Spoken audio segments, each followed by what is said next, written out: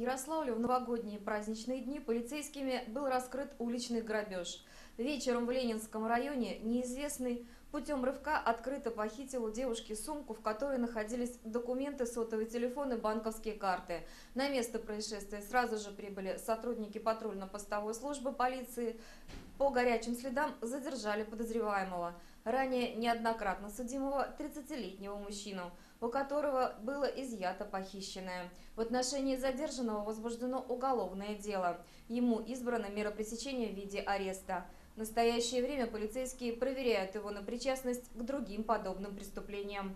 Если вы пострадали от действия этого человека, обращайтесь в полицию.